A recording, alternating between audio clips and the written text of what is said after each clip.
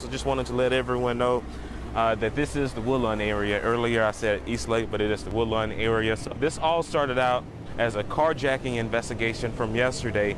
Uh, there was a carjacking and a car a truck stolen, and it's the one that is flipped over according to uh, Birmingham police. So we'll zoom back in so you all can see that. So three blocks, uh, three blocks from this location is where police came across this vehicle that was re reported stolen from a carjacking that took place yesterday.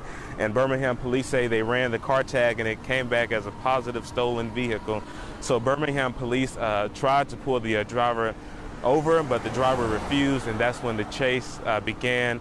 A short pursuit that, again, that started three blocks from this location and ended here at First Avenue North and 65th Street North. And Birmingham police tell us they have two people in custody, and the person that was hit by the suspect, that uh, which is a woman, doesn't have any visible injuries, and that's, that information came from Sergeant Johnny Williams.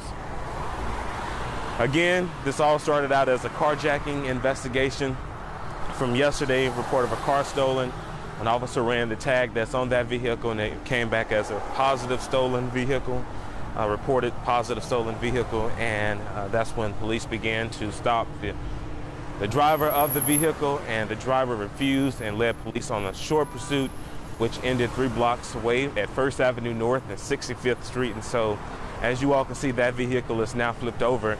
But they do have two people in custody, and right now we are awaiting the charges that they will face, and that will come out either today, tomorrow, or sometime in the near future. So they have opened up they have taken down the police tape and they have opened up all lanes of First Avenue so you can drive through here and they're about to move this, uh, the mounted patrol truck, and it will be open. But will record they still have to remove the uh, stolen vehicle. And that's uh, that process is underway right now. So again, why so hot, man? Hopefully just a few more weeks and that's it.